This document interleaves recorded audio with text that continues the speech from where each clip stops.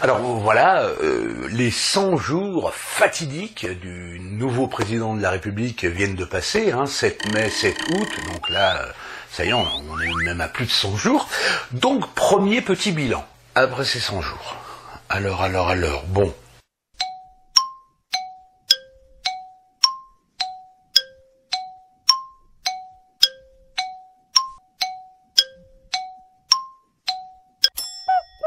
Bon, on va peut-être attendre 150, voire 200 jours, parce que là... euh,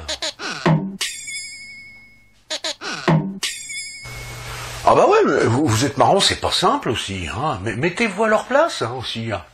Vous exigez, mais bon, euh, ils font ce qu'ils peuvent, quoi, les mecs.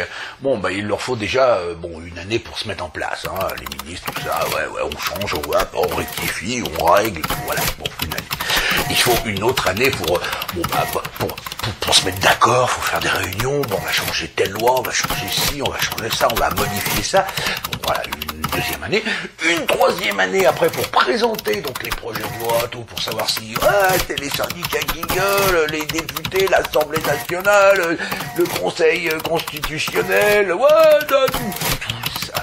Une troisième année, la quatrième année, bon bah là ça y est, bon c'est l'année où on va mettre un petit peu les nouvelles choses en place, donc on est on se réunit, tout, ouais, on est d'accord, tout, bah, euh, voilà, voilà. Et la cinquième année, bon bah il va y avoir les élections dans un an. On va les perdre. Sert à quoi de se casser le cul euh, ah, oh, mais du coup, on passe le bébé euh, à ceux d'après. Et ça continue comme ça depuis... C'est drôle, hein